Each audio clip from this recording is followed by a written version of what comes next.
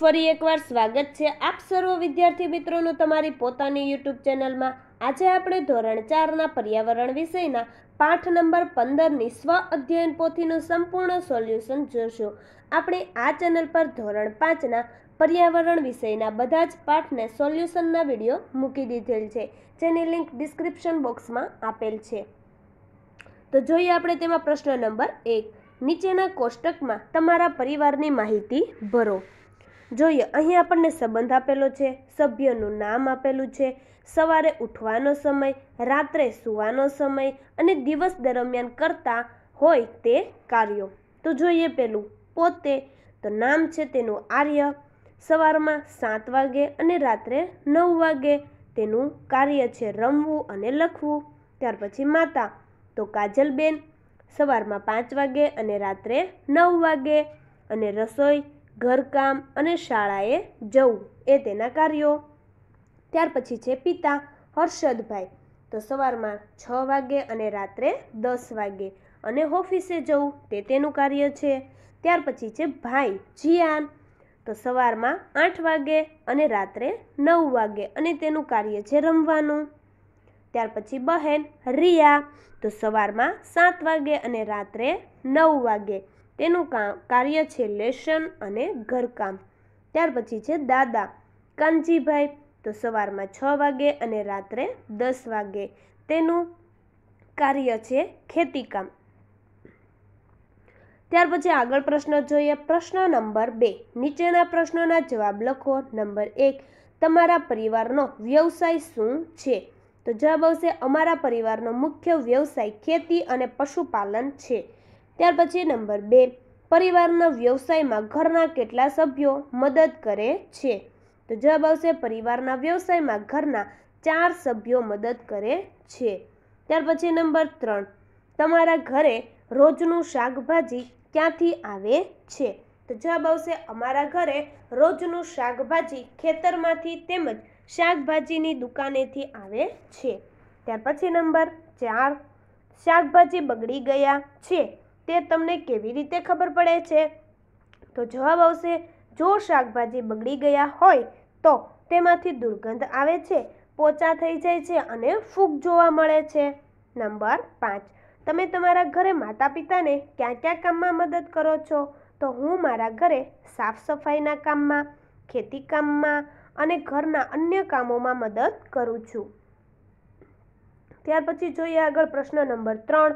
નીચે આપેલ ફકરાના આધારે તેની નીચે આપેલ પ્રશ્નોના જવાબ આપો. અહીં આપણને એક ફકરો આપેલો છે, તેની આધારે આપણે નીચેના પ્રશ્નોના જવાબ જોઈશું. તો જોઈએ આપણે પ્રશ્નોના જવાબ નંબર એક, શાકભાજીને પાણી શા માટે છાંટવામાં આવે છે? તો જવાબ આવશે, પાણી છાંટવાથી શાકભાજી તાજા રહે છે. નંબર બે, આ ફકરામાં આવ્યા, આપ્યા ન હોય તેવા પાંચ શાકભાજીના નામ લખો. તો જોઈએ તેવા શાકભાજીના નામ. કોબીજ, ગુવાર, કારેલા, તુરિયા, ગલકા, ફ્લાવર વગેરે શાકભાજીના નામ આપ્યા નથી. ત્યાર પછી નંબર ત્રણ. મંડી એટલે શું? સમજાવો. તો મંડી એટલે જ્યાં શાકભાજી વેચવામાં આવતી હોય તેવી જગ્યા. નંબર ચાર. કાચા શાકભાજીને અલગ શા માટે કરવામાં આવે છે? તો કાચા શાકભાજી કોઈ ખરીદતું નથી. એટલા માટે તેને પકવવા માટે અલગ રાખવામાં આવે છે. ત્યાર પછી નંબર પાંચ, શાકભાજીને અલગ કરવા માટે કેમ ઝડપ કરવી પડે છે? તો શાકભાજીને ઝડપથી અલગ કરીને બજારમાં વહેલા પહોંચાડવાનું હોવાથી ઝડપ કરવી પડે છે. નંબર છ, અમુક શાકભાજી વેચવા લાયક કેમ નહીં હોય? તો અમુક શાકભાજી ખરાબ થઈ ગયા હોય તો તે વેચવા લાયક હોતા નથી. ત્યાર પછી આગળ જોઈએ પ્રશ્ન નંબર ચાર. નીચે આપેલા વ્યવસાયને સૂર્યોદય પહેલાં શરૂ થતા અને સૂર્યોદય પછી શરૂ કરવામાં આવતા હોય તે મુજબ વર્ગીકરણ કરો. આપેલી જગ્યામાં અન્ય ત્રણ વ્યવસાય ઉમેરીને તેમનું વર્ગીકરણ કરો. જો અહીં તમને આપેલું છે દુકાનનું દૂધ પાર્લર, શાકભાજી વેચાણ, ખેતી, ઓફિસ, પેટ્રોલ પંપ, શાળા ખુલવી, દૂધવાન, હોટલ પશુપાલન, ફળ વેચવા, દવાખાનું અને કુરિયર તેવા આપણે બીજા ત્રણ વ્યવસાયના નામ લખીશું.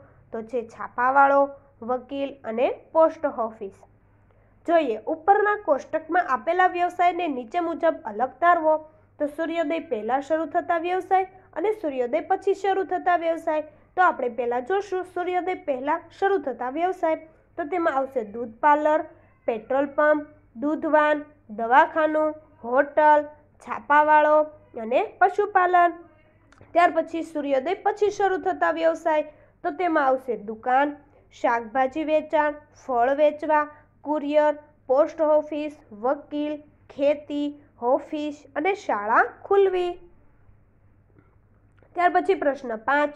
નીચે કેટલા ફળો અને શાકભાજીના નામ આપ્યા છે? તેમાં અન્ય બે નામ ઉમેરી તેને માગ્યા મુજબ જુદા પાડીને લખો. તો અહીં બે નામ આપણે ઉમેરી દઈશું અનાનસ અને ઘીસોડા. જોઈએ નંબર એક.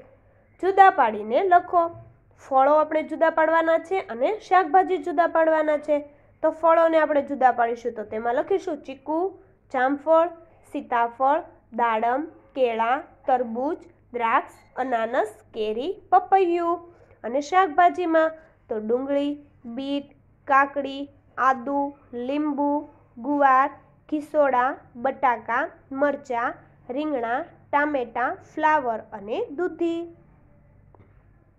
ત્યાર પછી નંબર બે. હવે આ જ વસ્તુઓને નીચેના કોષ્ટક મુજબ વર્ગીકૃત કરો. તો રાંધીને ખવાતા, કાચા ખવાતા અને બંને રીતે ખવાતા. તો પહેલાં આપણે જોઈએ રાંધીને ખવાતા. તો ભીંડા, બીટ બટાકા, કાકડી, ડુંગળી, મરચાં, ઘીસોડા, ગુવાર અને ફ્લાવર.